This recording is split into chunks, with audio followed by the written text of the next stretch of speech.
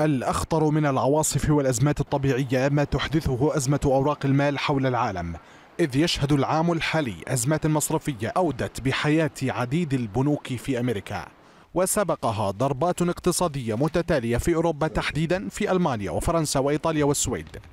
تداعيات تلك الأزمة لم يتوقع خبراء السوق العالمية أن تضرب أكثر قطاعات العمل العالمي أمانا وازدهارا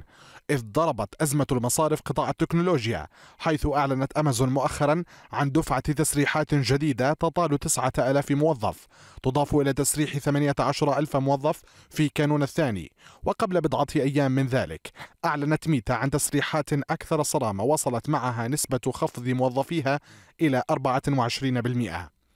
التسونامي المالي حول كبار شركات التكنولوجيا إلى فوضى غير مستقرة بعد أن اعتبرها مستثمرون ملاذا آمنا لما شهدته مصارف عالمية من تدهور.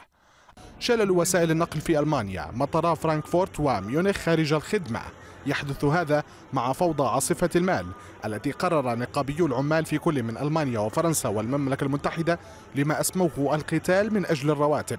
حيث تتوقع نقابات النقل والسكك الحديدية توقف السفر تماما إذ تطالب فيردي على سبيل المثال بزيادة 10.5% للعاملين في القطاع العام وفقا لما ذكرته بلومبيرغ أزمة تضخم قياسي يحذر منها خبراء الاقتصاد والتي يتوقع أن تضرب انعكاسا على أسواق عالمية ومنها عربية ما يرفع مؤشر التحذير من خطر أزمة اقتصادية قد لا تكون سهلة على دول تعاني من ويلات اقتصادية متراكمة.